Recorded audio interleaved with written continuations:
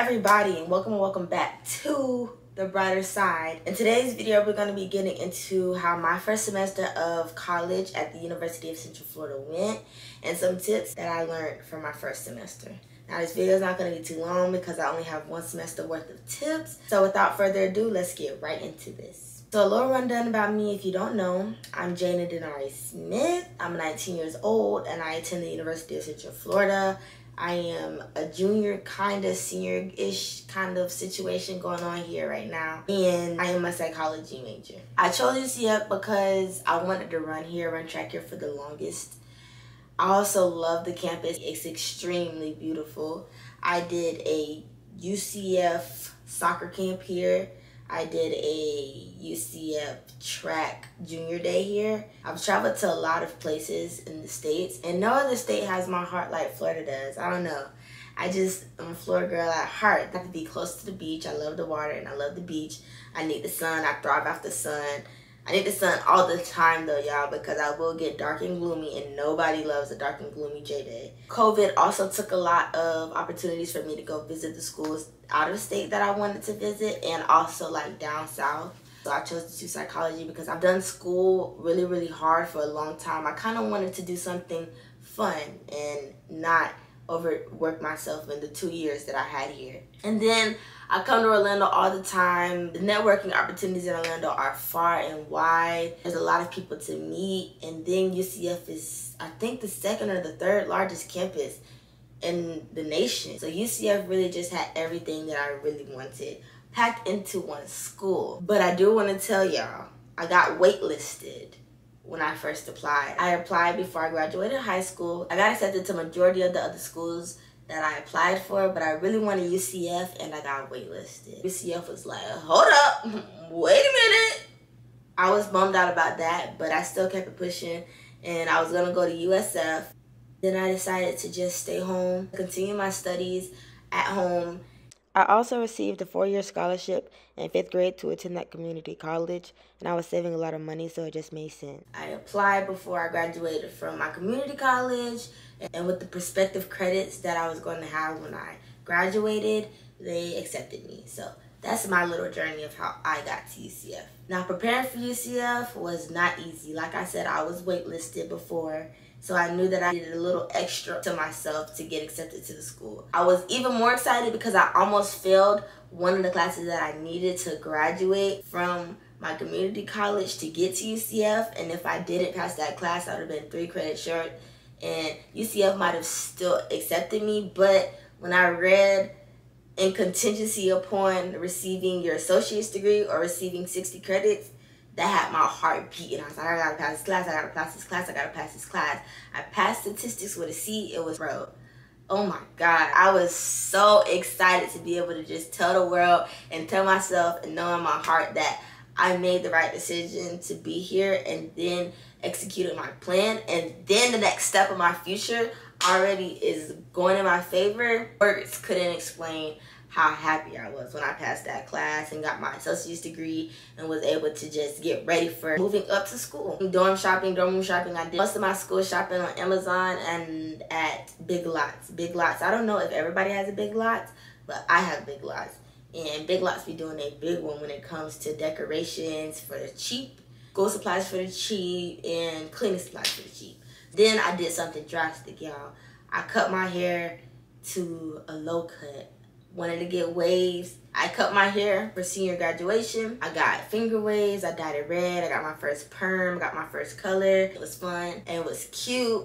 And then it grew out and I was like, okay, I got some braids. I was like, when I take these out, I'm finna just start all over because I was not with my hair being short back here and then long over here.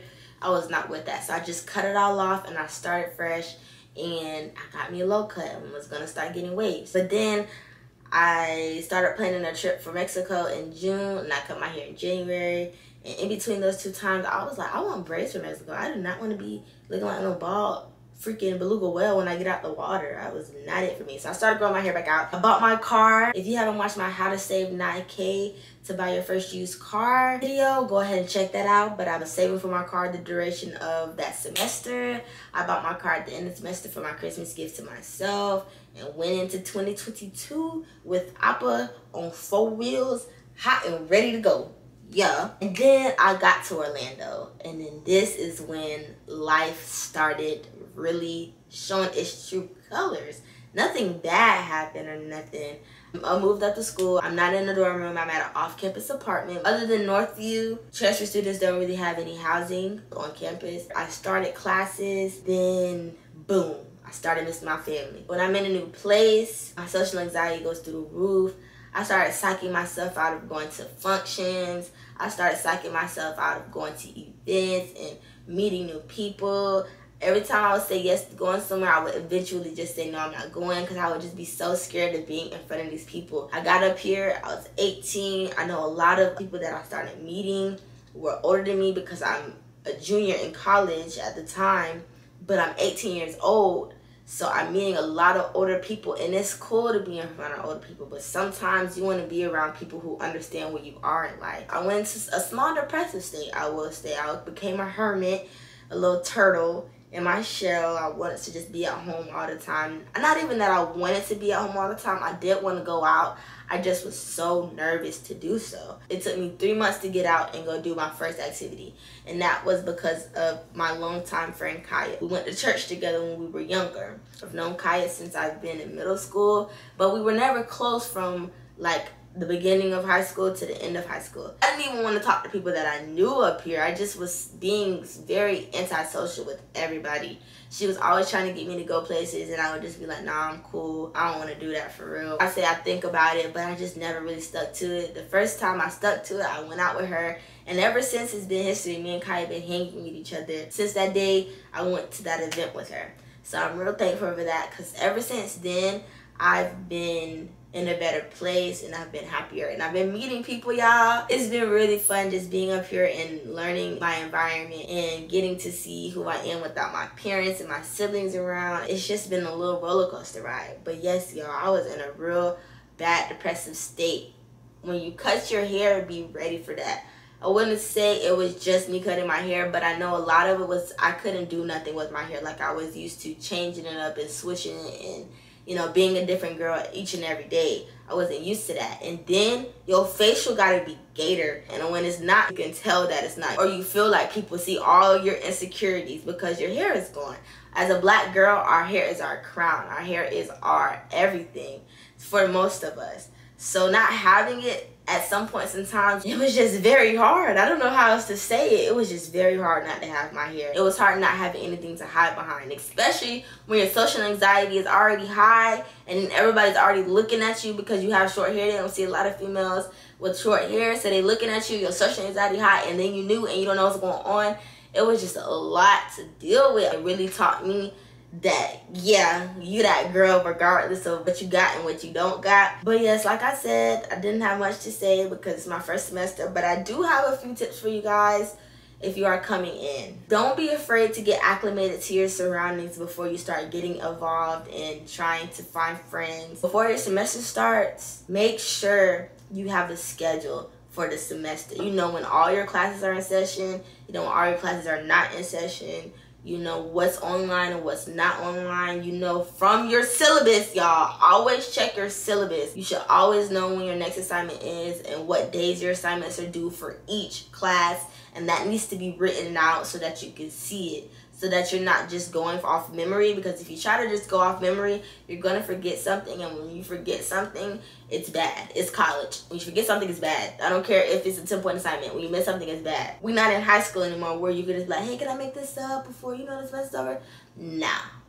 You miss it sometimes you just miss it and it's on you. And that's another thing Everything is on you when you get up here. There's no mommy and daddy to hold your hand, brother, sister to hold your hand, cousin, uncles, aunties to hold your hand. When you get up to college, your work is on you. Making sure all your assignments is done and submitted on time is on you. Making sure financial aid is covered. You have to know and plan out efficiently your schedule for the semester so that you can be as efficient in your work as possible and do well in your classes for the semester. My biggest struggle was eating eating was just really hard just to keep up with all the time. There's at least two meals you need to eat in a day. The most, three for me. So then that's three times seven meals for the week. That's a lot of meals to think about. and I just wouldn't eat. So I will say, even if you're not staying on campus, get a meal plan on campus. At UCF, we have Knight Cash. So I don't have to get a meal plan per se, but I can have Knight Cash for when I don't want to spend money or if I don't know what I really want to eat. I go on campus, go to the student union, spend my Knight Cash, and be done with that. Have a meal plan, at least for lunches and dinners or breakfast or for all three of them, however you want to do it. Just have a meal plan for a little while so that that's not something that you have to think about because if you don't cook, if you can't cook, then it's eating out, which is much easier than being able to cook because I do have a kitchen here. So being able to cook, not wanting to spend money because we already broke college students, too much for me. Another tip, apply for food stamps. You can get food stamps if you're a full-time or part-time student. Also, you're even more qualified if you're a full-time or part-time student with a full-time or part-time job on campus or off campus. Apply for food stamps as soon as possible. Now with food stamps, you can't buy hot foods even at the grocery stores. You have to only buy cold foods. But we have a Publix. Publix makes subs. I eat subs religiously all the time, y'all, because food stamps pay for it. They have cold chicken, they have cold meals, and then of course your groceries that you can buy with that food stamp. So if you get food stamps, even if it's a hundred dollars a month, you'll be straight. That's a hundred dollars that's not outside your pocket. EBT also works at gas station for candy, drinks, Wawa smoothies, all that good stuff too. So, and my last tip is going to be that you cannot window shop for friends. From K through 12, you can just be like, "Oh, girl, I like your hair. Oh, girl, I like your shirt. Where'd you get your shoes from?" And if it, even if it didn't go into a full depth conversation, the next day at school, you guys were probably gonna talk to each other, or y'all probably would smile at each other. That's not how that works. When you get up here and you go to a college, you tell somebody that you like their hair, or you like their clothes, or you like their shoes, they're gonna say thank you and keep it pushing. They is not finna try to have no conversation with you unless they have time. Even if they have time, they probably don't. So they're gonna keep it pushing. Another tip, and I should have said this earlier. Make a schedule for yourself. Make a schedule for your life to keep your life on track. Have a laundry day. Have a make sure you tidy up your room and apartment day. Have a homework day going along with your school schedule. Just have your days planned out as best as you can so that you can get everything done in your day. And last but not least, just enjoy yourself when you come up here. It's a whole new world. It's a whole new beginning. Leave your high school self in high school. Come up to college with the new mindset, with the open heart, with the open brain, and just see what it is that's out there for yourself. Learn yourself. Have fun with yourself. You know what I mean? Just do you when you come up here. Don't worry about what everybody else got going on. Don't worry about what this person has on and what this person is doing and then what the people from home are doing.